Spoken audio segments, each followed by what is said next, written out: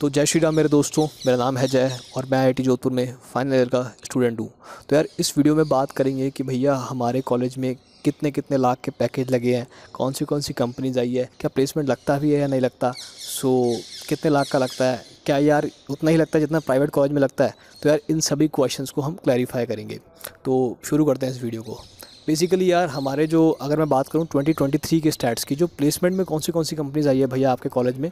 सो so, यार placement में ज़्यादातर मेजरली अगर हम बात करेंगे तो सॉफ्टवेयर कंपनीज़ ही आई है। कोई बहुत कम इलेक्ट्रिकल कंपनीज़ आई है जैसे मैं इलेक्ट्रिकल ब्रांच से हूँ मैं एंड तो इलेक्ट्रिकल ब्रांच की बहुत कम कंपनीज़ आई है। बाकी जो सारी कंपनीज़ आई है वो नॉन कोर की मतलब मेरे लिए नॉन कोर होगी ना तो वो सॉफ्टवेयर की कंपनीज़ आई है एंड किस किस तरह की कंपनीज़ आई है बेसिकली अगर अपन बात करते हैं तो तो यार फ़र्स्ट ऑफ़ ऑल हमारी जो कंपनी आई थी, वो आई थी ट्रिलॉजी इनोवेशन कोऑर्डिनेशन नाम से एंड आपने सुना होगा शायद। एंड उसके बाद किस किस, कैसी कैसी कंपनीज़ आती है यार? अगर मैं नेशनल ऑफर्स की बात करूँ तो औरकल कंपनी आई थी, बाकी एक स्टार्टअप है मेरा पशु नाम से। आई थिंक उसका थोड़ा डिले चल रहा है, कुछ ना कुछ उसका बेसिकली उनका जो ऑफ़र है स्टूडेंट्स का, वो डिले कर रखा है। बट यार वो कंपनी आई थी for the placements purpose and day one day two day three की काफ़ी अच्छी अच्छी कंपनीज़ आई थी। तो भैया माइक्रोसॉफ्ट वगैरह माइक्रोसॉफ्ट वगैरह की अगर हम बात करें तो यार माइक्रोसॉफ्ट ने इस साल पीपीओ दिया है। मतलब वो प्लेसमेंट के लिए तो नहीं आई थी। वो बेसिकली लास्ट ईयर इंटर्नशिप के लिए आई थी। एंड उस बेसिस पे जिन भी, जिन जिन बच्चों ने अच्छा परफॉर्म किया है, उन उन बच्चों को पीपीओ यानी कि प्री प्लेसमेंट ऑफ़र उन्होंने दिया है। भैया कितने लाख का दिया है? तो यार माइक्रोसॉफ्ट का जो पैकेज है, वो बेसिकली 53 लैक्स का है, जितना हमारी नॉलेज में आया है। एंड वो सीटीसी है, बाकी बेस जो है इसमें से आप निकाल सकते हैं कि आई थिंक अराउंड 20 टू 25 जो है उनका बेस है। डिपेंडिंग अपॉन परफॉर्मेंस यार ऐसा होता है कि यार बेसिकली uh, कुछ स्टूडेंट अच्छा परफॉर्म करते हैं तो माइक्रोसॉफ्ट उनको ज़्यादा पैकेज देती है। कुछ स्टूडेंट्स अच्छा परफॉर्म नहीं करते तो थोड़ा सा कम मिलता है। तो बेसिकली यही पर्पस रहता है। सो so यार काफ़ी सारी कंपनी है। बेसिकली अगर मैं बात करूँ तो 20 लाख प्लस बेस की कंपनी तो नहीं आई बट 10 से 15 लाख बेस की कंपनी काफ़ी आई है। सो so यार 10 से 15 लाख बेस तो मतलब ईजिली है। एंड बाकी जो सीटीसी रहता है वो अराउंड ट्वेंटी लैक्स के आसपास की कंपनीज़ तो ईजिली आपके पास आती है। And most of the students जो थे वो सी के जो ब्रांच के तो थे वो ऑलमोस्ट प्लेस हो गए थे। अब भैया यार दिक्कत ये आती है कि आपका जो कुछ कंपनीज़ आती है, वो सी जी पे क्राइटेरिया लगा देती है कि भैया आठ से प्लस वाले ही बैठेंगे, उससे नीचे वालों को हम अलाउ नहीं करेंगे। एंड कई कंपनीज़ होती है जो सेवन प्लस का सी पे क्राइटेरिया लगाती है। So like what is the issue issue ये है कि यार, आप अपनी सी जी पे जो है ना अराउंड सेवन पॉइंट फाइव के आसपास रखिए, जिससे कि आपको सारी कंपनियाँ ऑलमोस्ट ऑलमोस्ट अलाउ कर दें। बाकी जो अच्छी अच्छी कंपनीज़ होती हैं, वो जैसे गूगल वगैरह हो गई वो सी पे क्राइटेरिया कम लगाती हैं। वो नॉलेज को ज़्यादा प्रेफर करती हैं कि भाई इफ़ यू हैव नॉलेज अगर आपके मार्क्स थोड़े से कम भी हैं तो भी कोई बात नहीं। आप एग्ज़ाम दीजिए और एग्ज़ाम को निकालिए। एंड अब बात कर लेते हैं कि यार मेरा पैकेज कितना है एंड आपका सीटीसी कितना है? भैया, आपने इन सब की तो बात कर ही ली। सो so यार बेसिकली मेरा, मैं बता रखा है कि मेरा जो यार प्लेसमेंट हुआ है वो एचडीएफसी बैंक में हुआ है। एंड बाकी जो अब मेरी लोकेशन है वो है बैंगलोर एंड अब ये बात कर लेते हैं कि यार ऑन कैंपस उन्होंने कितना पैकेज दिया है? एचडीएफसी बैंक वालों ने कितना पैकेज दिया है so बेसिकली यार, अभी जो मेरे पास ऑफ़र लेटर आया है, उसमें अराउंड जो सीटीसी है, वो is around twenty two point five lakhs and guys मैं ये कहना चाहता हूँ कि जो जो भी मतलब मेरे बाद अनप्लेस रह गए थे, उसके बाद भी कंपनीज़ आ रही थी, ऐसा हुआ है कि लास्ट में कुछ स्टार्टअप्स आए हैं, जो कि वर्क फ्रॉम होम थे एंड वो भी अच्छा पैकेज दे रहे थे वो भी पंद्रह से सोलह लाख का बेस पैकेज दे रहे थे, और उन्नीस बीस लाख का सीटीसी दे रहे थे। बट यार उनमें देख, दिक्कत ये आती जैसे आपको पता है यार आजकल इतने ले ऑफ़ वगैरह हो रहे हैं एंड काफ़ी कंपनियाँ मोस्ट ऑफ़ द कंपनियाँ जो है स्टूडेंट्स को निकाल रही हैं एम्प्लॉयज़ को निकाल रही हैं, कईयों का ऑफ़र लेटर भी रिजेक्ट हो रहा है। तो बेसिकली ये रहता है कि यार आपको जो है ना एक कंपनी ऐसी चाहिए होती है जो कि स्टेबल रहे, जो कि एम्प्लॉय को निकाले ना। इस समय job security is the most priority and उसी के लिए मैंने ये कंपनी चूज़ करी है HDFC बैंक मुझे ऐसा लग रहा है कि आई थिंक सो कि ये मेरे लिए स्टेबल है। बाकी देखा जाएगा जो होगा।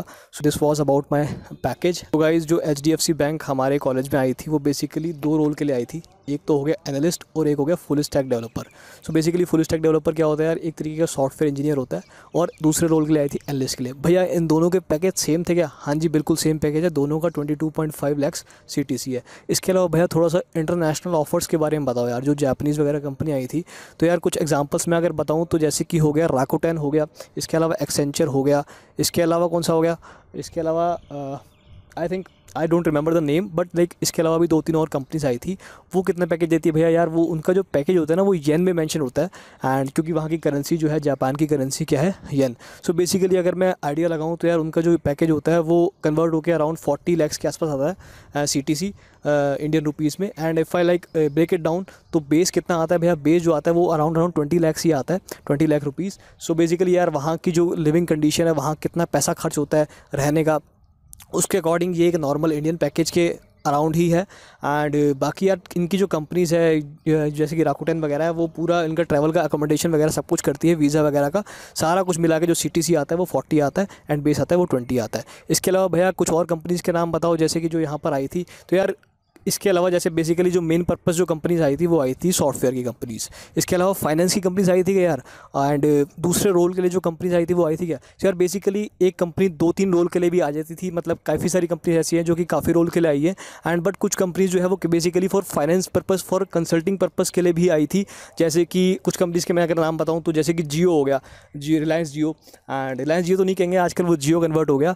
एंड और कुछ कंपनीज़ के नाम बताओ यार, जैसे कि हो गया फ्यूचर्स फ़र्स्ट हो गया। और ये सारी कंपनीज़ आई थी पेटीएम हो गया तो इनका जो नॉर्मल पैकेज रहता है, वो यार अराउंड दस लाख दस से बारह लाख का बेस रहता है बेस पैकेज बाकी यार पंद्रह सोलह लाख का सीटीसी रहता है। सो यार ये चीज़ थी हमारे प्लेसमेंट के बारे में। भैया अगर मान लो कोई बंदा अनप्लेस रहता है तो फिर वो क्या करे? तो यार बेसिकली हमारा जो प्लेसमेंट का जो फ़र्स्ट फ़ेज़ था, वो स्टार्ट हुआ था अराउंड फ़र्स्ट ऑफ़ दिसंबर से almost almost sixty to seventy percent बच्चे प्लेस हो गए थे, कब तक? अराउंड जनवरी तक, है ना? उसके बाद जो है फरवरी में फरवरी में जो है नेक्स्ट फ़ेज़ स्टार्ट हुआ था सेकेंड फ़ेज़ उसके बाद अराउंड अराउंड फोर्टी स्टूडेंट्स ने रजिस्टर किया था फॉर सेकेंड फ़ेज़ इस इससे यार ये आइडेंटिफाई होता है कि ऑलमोस्ट ऑलमोस्ट सारे स्टूडेंट्स प्लेस हो चुके हैं। या तो वो प्लेस हो चुके हैं या फिर वो यार हायर स्टडीज़ वगैरह के लिए जाते हैं एमएस वगैरह के लिए। बेसिकली यार हमारे जो यहाँ पर आईआईटी के स्टूडेंट्स वगैरह होते हैं ना वो मोस्टली मोस्टली तो नहीं उसमें से कुछ जो है वो रिसर्च ओरिएंटेड होते हैं। सो so, वो यार बाहर जाकर रिसर्च वगैरह करना चाहते हैं। जैसे कि मेरा एक फ्रेंड है वो न्यूयॉर्क जा रहा है तो काफ़ी सारे जो दोस्त हैं, इवन वो न्यूयॉर्क जा रहे हैं एंड न्यूयॉर्क यूनिवर्सिटी वगैरह में जा रहे हैं, वो एमएस करने के लिए जा रहे हैं। लेकिन यार, ये जो हैं कुछ स्टूडेंट्स रहते हैं, वो जो कि एमएस करने के लिए जाते हैं। बाकी यार, कुछ स्टूडेंट्स ऐसे हैं जो कि फाइनेंस सेक्टर में जाना चाहते हैं, कुछ स्टूडेंट्स ऐसे हैं जो कि सॉफ्टवेयर इंजीनियरिंग सेक्टर में जाना चाहते हैं। तो बेसिकली मोस्ट स्टूडेंट जो है, वो सॉफ्टवेयर इंजीनियरिंग में जाना चाहते हैं। एंड जो मोस्टली जो प्लेस जो हैं सिक्सटी टू सेवेंटी परसेंट बच्चे वो सॉफ्टवेयर इंजीनियरिंग के ट्वेंटी टू थर्टी परसेंट बच्चे वो फाइनेंस से रिलेटेड है, जैसे कि एनालिस्ट वगैरह हो गया और प्रोडक्ट मैनेजर वगैरह हो गया, ये चीज़ें से रिलेटेड हैं। एंड बाकी जो स्टूडेंट्स बच्चे हैं, वो या तो अनप्लेस्ड हैं या फिर वो कोई गेट की तैयारी कर रहा है, कोई एम की प्रिपरेशन कर रहा है, कोई पीएचडी करना चाहता है, कोई पीएसयू में जाना चाहता है। सो बेसिकली यार यही हमारा जो है स्टैट्स था आईआईटी जोधपुर के। प्लेसमेंट का स्टैट्स आईआईटी जोधपुर के। स्टूडेंट्स का क्लास ट्वेंटी ट्वेंटी थ्री के स्टूडेंट्स का स्टैट्स मैंने आपको बता दिया है सो बेसिकली अगर आपको प्लेसमेंट की तैयारी करनी है तो यहाँ पर यार क्लब्स वगैरह भी हैं एंड डी वगैरह आपको पढ़ना पड़ेगा। इसके साथ साथ आपको इंटरव्यू की प्रिपरेशन वगैरह भी करनी पड़ेगी। सो यार this is all about the video बाकी यार एक बार थोड़ा सा माहौल बढ़िया हो रहा है। अपने कॉलेज का थोड़ा सा आसपास का दिखा देते हैं। सो यार, अभी हम कहाँ खड़े हैं? अभी हम खड़े हैं यार, वही हमारा जो बेसिकली जो हमारा एडमिन कॉम्प्लेक्स है, उसके पास हम खड़े हैं। यहाँ पर नाम लिखा हुआ है, Chanakya complex and this is the Chanakya complex ये एक लंबी सी बिल्डिंग है। मैंने आपको दिखा रखा है आई थिंक इनफाइनाउट कॉरिडोर जो है, वो यहाँ पर है। बाकी वहाँ पर हमारा जो है तिरंगा वगैरह लगा रखा है। यहाँ पर बेसिकली यहाँ पर परेड वगैरह भी होती है। एंड सामने यार बेसिकली ग्राउंड्स हैं और पीछे जो है, वो डायरेक्टर का हाउस है। कैंपस काफ़ी अच्छा लग रहा है एंड काफ़ी अच्छा कैंपस तभी लग रहा है क्योंकि काफ़ी स्टूडेंट्स प्लेस्ड हुए हैं। उनके लिए भी अच्छा लगता है कि यार जो स्टूडेंट्स प्लेस हुए हैं बाकी पीछे यार यार वहाँ फाउंटेन है और पीछे बाकी आपका फेवरेट क्या है? Knowledge tree I think video में देख ही रहा होगा। सो so, इस वीडियो को यार एंड करते हैं। सो so, आपको आपने अगर वीडियो को देख लिया तो वीडियो को लाइक करें चैनल को सब्सक्राइब कर लें and thanks for watching take care and bye